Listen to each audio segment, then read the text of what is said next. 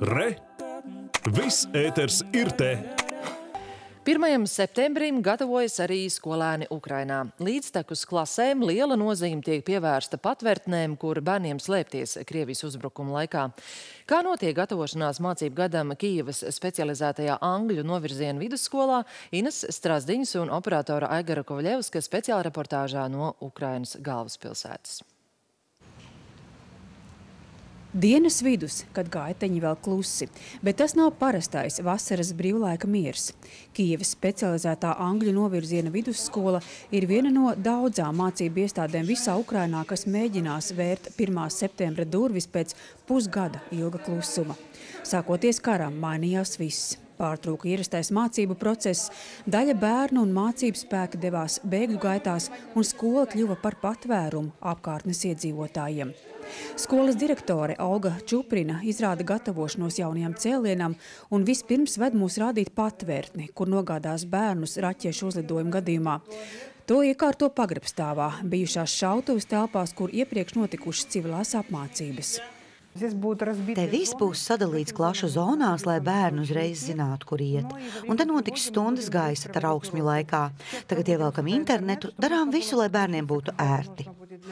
Visu izkrāsosim gaišās krāsās. Nebūs tik briesmīgi, viņa saka. Bērniem šī telpa jau esot pazīstama, jo smagākajās kara dienās daudzi kopā ar vecākiem un arī tuvāko namu iedzīvotāji un arī Olga pati ar ģimeni te divus mēnešus nodzīvoja sargādamies no uzlidojumiem. Par īpašu vietu tajā laikā kļuva arī ēdamzāle, kur Olga pati stāvēja pie katliem, gatavojot maltīti. Bija gaisa trauksmes, viss bija slēgts, bija komandantu stundas pat vairāku dienu garumā. Tāpēc paši te gatavojām ēst, cepām pīrāgus, vārījām boršķu. Un šo boršķu, es domāju, mēs neaizmirsīsim nekad. Cilvēki teica, ka nekad neko tik garšīgu nav ēduši. Tagad te rosīsies saimnieces kā agrākos laikos. No 1700 bērniem kopumā puse mācīsies klātienē, bet puse būs attālināta, jo kopā ar vecākiem devušies bēgļu gaitās un dzīvo dzīvo vai nu citā valstī vai citā pilsētā, tepat Ukrainā, vai arī gribētu nemierīgo laiku pavadīt mājās. Kara dēļ skolā ieviests arī divas maiņas. Bērni no 1. līdz 5. klasē mācīsies 1. bet no 5. līdz 11. klasē 2. maiņā.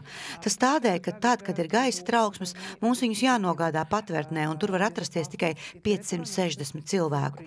Mēs esam aprēķinājuši visu tā, lai tur visiem būtu vietas. Tā būs jauna slodze skolotājiem, teica Olga, bet ir karš un nav variantu. Pedagogi ir saprotoši. Es saprotu, ka mans galvenais uzdevums ir viņus mācīt, izglītot, lai mēs būtu kā liela ģimene. Protams, tas viss būs, bet svarīgākā ir viņu drošība. Satraukums mazliet ir, jo ir cita situācija, pastāvīgas gaisa trauksmes. Ceru, ka dienas laikā to būs mazāk. Olga teica, ka lielākais iedvesmas avots ir vecāku vēstules, kuri rakstījuši un lūguši skolai būt. Un arī tādu baiļu, kā agrāk vairs nesot. Tā vietā spīts un ticība, ka viss izdosies.